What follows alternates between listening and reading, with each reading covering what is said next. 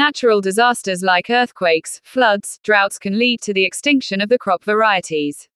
This means we will never be able to grow those crops again. In order to preserve the seeds of these crops, we have gene banks present all around the globe. But these gene banks can also be affected by natural disasters or maybe lack of proper funding. So, to further prevent and store these seeds, we have a seed vault which was built in 2008. It is known as Svalbard Global Seed Vault, where the duplicate samples of the seeds are stored. It is located on the Norwegian island of Spitsbergen. It is a collaborative effort between Norway, Nordgen, and the Crop Trust. The vault has a capacity to store 4.5 million variety of seeds. And currently the vault has more than 1.3 million samples of the same. And, each packet of it consists an average of 500 seeds, so a maximum of 2.5 billion seeds may be stored in the seed vault. According to their website, as of the 26th of February 2025, 13,000 more seed samples from 21 gene banks were deposited in the vault that week.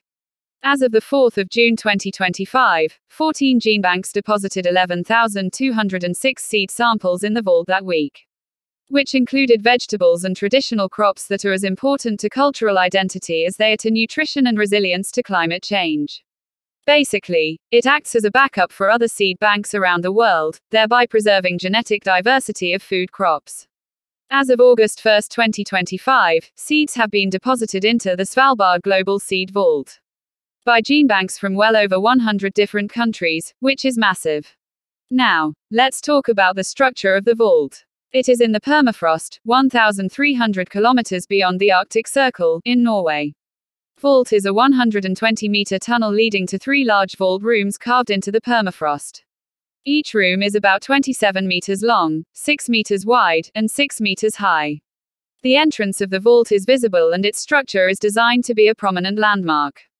The storage areas are made deep within the mountain, ensuring optimal conditions for seed preservation. The vaults are maintained at minus 18 degrees Celsius for optimal seed preservation.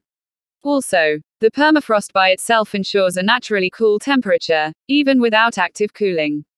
But, what is a permafrost? It is a layer of soil that is permanently frozen, in very cold regions of the world.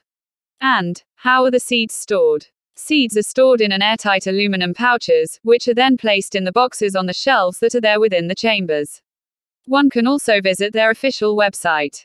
So, that's it for today's video. If you like the content, then do like, share and subscribe to my channel. Thank you.